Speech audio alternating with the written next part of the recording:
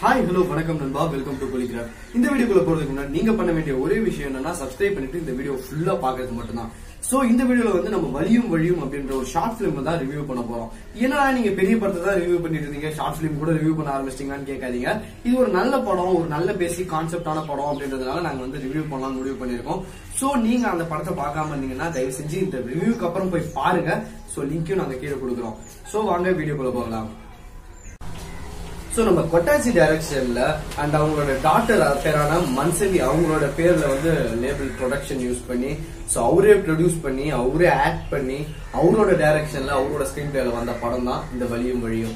So இந்த படத்தை பார்க்கும்போது நம்மளுக்கு என்ன ஒரு ஃபீல் கிடைக்கும் அப்படின்னு பாத்தீங்கன்னா அந்த கொட்டாச்சி அவரோட கேரக்டர் வந்து என்ன ஒரு கேரக்டர் ரிமைன் பண்ணணும்னு பாத்தீங்கன்னா எதிர்நீச்சல் படத்துல நாகேஷ் அதாவது பழைய எதிர்நீச்சல் படத்துல நாகேஷ் அவரோட கேரக்டர் ரிமைன் பண்ற மாதிரி இருக்கும். அண்ட் இந்த படம் ஃபுல்லாவே வந்து ஒரு கண்டிப்பா ஒரு வித்தியாசமான ஒரு ஃபீலை கொடுக்கும் உங்க எல்லாருக்குமே. அண்ட் நடுவுல நடுவுல எம் எஸ் பாஸ்கர் சாரோட வாய்ஸ் எல்லாம் வரும் இந்த படத்து நடுவுல. சோ அவர் வந்து பேசுற மாதிரி ஒரு விஷயங்கள்லாம் வரும். அதெல்லாம் கேட்கும்போது சீரியஸாவே செமையா இருக்கும். சோ இந்த படம் வந்து கண்டிப்பா உங்களுக்கு பிடிச்சிடும் அப்படின்ற விஷயம் வந்து தெரியும். ஏன்னா அவ்வளவு ஒரு உணர்ச்சிகரமான ஒரு கருத்தையும் சொல்லியிருக்காங்க. அண்ட் சினிமா பேஷனோட சென்னைக்கு வந்து கஷ்டப்படுற எல்லாருக்குமே இந்த படம் வந்து ரொம்ப க்ளோஸ் டு த ஹார்ட்டா இருக்கும். மேபி அழுதாலும் அழுதுருவாங்க. சோ இந்த மன்சவி அப்படின்றவங்க யாருன்னு பாத்தீங்கன்னா இமைக்கா நொடிகள்ல வந்து நயன்தாரா அவங்களோட பொண்ணா இருப்பாங்க பாத்தீங்களா? அவங்களோட அப்பா தான் இவர் கொட்டாச்சி அப்படின்றவரு. சோ அவங்க தான் அந்த படத்துல சாரி அவங்களோட பேர்ல தான் அந்த ப்ரொடக்ஷன் ஹவுஸ் இருக்கும். சோ அவரோட யூடியூப் சேனல்லே அதை வந்து ரிலீஸ் பண்ணிருக்காரு. சோ நீங்க யாராவது போய் பார்க்காம இருந்தீங்கன்னா கண்டிப்பா போய் பாருங்க. சோ இந்த படத்துல பொறுத்த வரைக்கும் அவரோட ஒரு டேலண்ட வந்து ஒரு வேற லெவல்ல எக்ஸ்பிரஸ் பண்ணிருக்காரு. அவரு டேரக்ஷனும் பண்ணுவாரு அப்படின்ற ஒரு விஷயத்தையும் இந்த ஷாப்லி பிலிம் மூலியமா சொல்லியிருக்காரு. and ஆழமா பதிவும் வச்சிருக்காரு. நம்ம கொட்டாச்சி அவர் பாத்தீங்கன்னா இப்படி ஒரு டைரக்ஷன்லாம் இருக்கா இவருக்குள்ள அப்படின்ற மாதிரிதான் படத்தை பார்க்கும்போது ஒரு ஃபீல் ஆச்சு. ஏன்னா அவ்வளோ ஒரு செமையான ஒரு ஸ்கிரீன் பிளே டைரக்ஷன்லாம் இருந்து அண்ட் அவர் மட்டுமே தான் காமிக்கிற மாதிரி இருக்கும் படத்துல. அண்ட் ஒரு சில சீன்ஸ்ல மட்டும் வேற ஒருத்தவங்கள அப்படி காமிக்கிற மாதிரி இருக்கும்.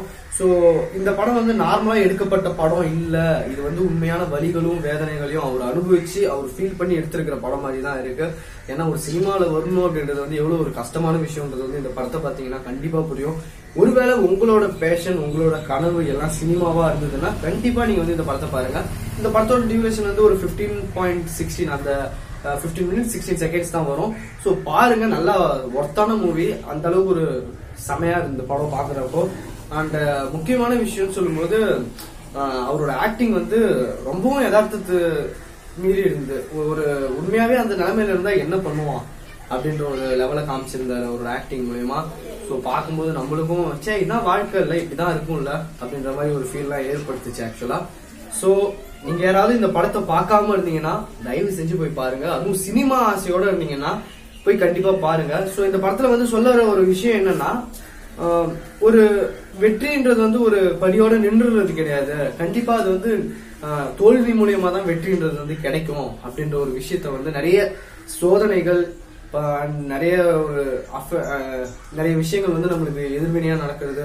இது மாதிரி விஷயங்கள் மூலயமா தான் நமக்கு வெற்றி கிடைக்கும் அப்படின்றது இந்த படத்துல வந்து அவ்வளோ ஆணிப்பூர்வமா அவ்வளோ தெளிவா சொல்லியிருப்பார் நம்ம கொட்டாச்சி. ஸோ நீங்க யாராவது பார்க்காம இருந்தீங்கன்னா போய் பாருங்க. கண்டிப்பா ஒரு இன்ஸ்பிரேஷனல் ஷார்ட் ஃபிலிமா இருக்கும். ஸோ இதோட நாங்கள் எங்க வீடியோ முடிச்சுக்கிறேன். So okay take care bye